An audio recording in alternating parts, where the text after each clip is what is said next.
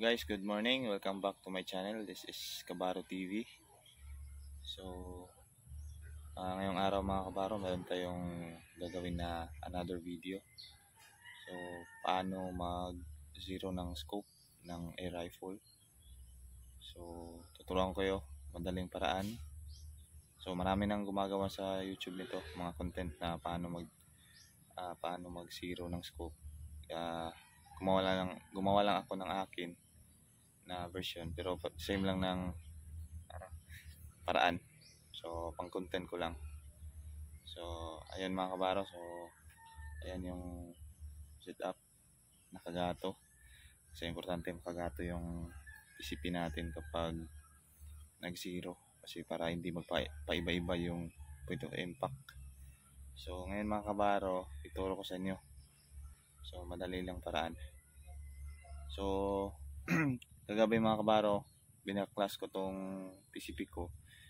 Yung posisyon ng barrel nito hindi na gaya nung dati. So pagtingin natin mamaya kapag makalat yung bala i barrel indexing natin. Sabay natin sa video na to. If kung ah, kung lang mga kabaro kung hindi makatama. Kasi nasubukan ko nag barrel indexing hindi ko na binideo pag pinihit siya pag inikot siya ng 6 o'clock yata yun ayaw niya ng ayaw niya ng tumama ng maayos. So, ayun mga kabaro. Try natin.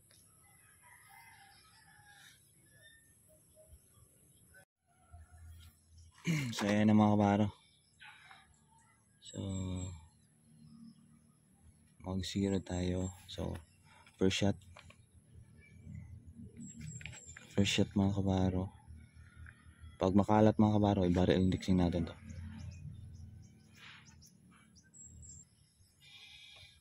So, ayan, first shot.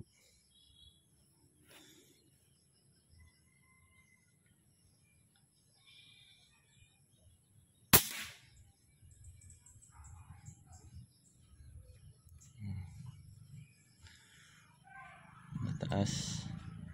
So, pihitin natin.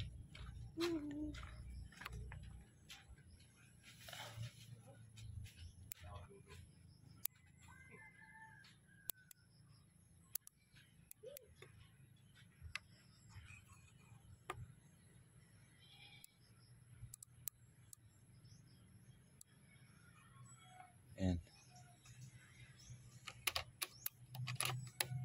So, ganyan lang mag-zero mga kabaro. Sundin lang nyo, na, sundin nyo lang yung point of impact.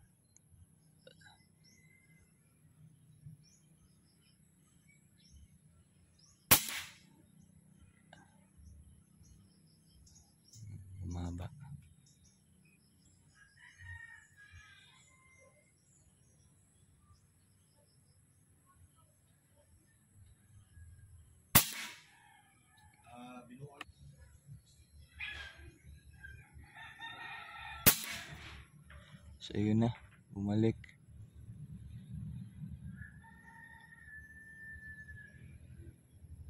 Bumalik sa ano, add pa tayo.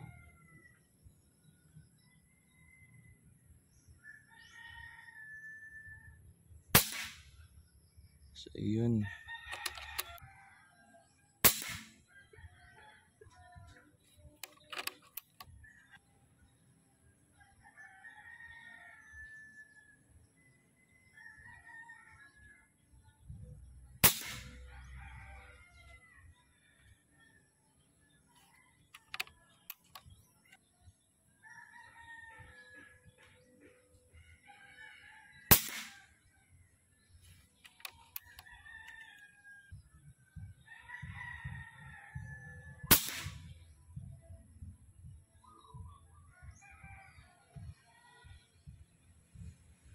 So, yan. Zero na yan mga kabaro.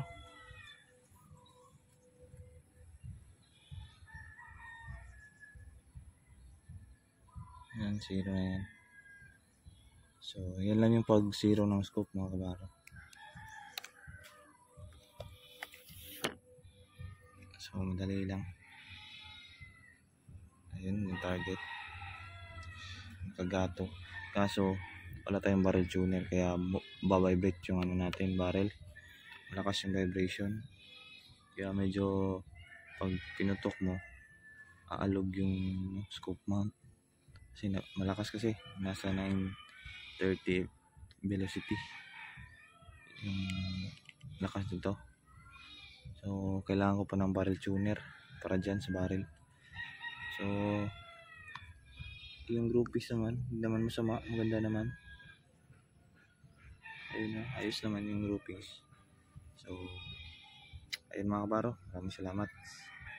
Hanggang sa susunod na video.